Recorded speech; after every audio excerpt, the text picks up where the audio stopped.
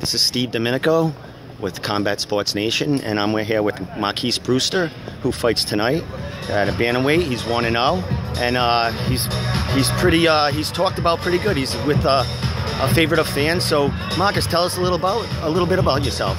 Oh yeah, my name is Marquis Brewster. Uh, I'm a bantamweight. I fight out of uh, Triforce MMA, also New England Combat. Um, I do my boxing with Serious Boxing as well.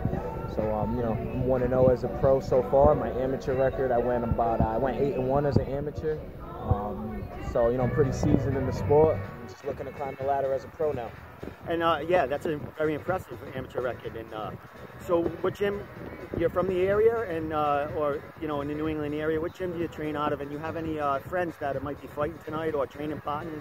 Oh yeah, um, I train out of Triforce MMA, which is in Pawtucket, Rhode Island. That's where I do all of my MMA. Uh, I do my boxing at New England Combat with um, my coach Victor Fagnet and Serious Boxing. Got some teammates fighting tonight. Um, two of them, um, Joe Ping, Lights Out, and uh, Greg Ribs Rebello. Um, looking to see them do work tonight. I can't wait. It's going to be an amazing card.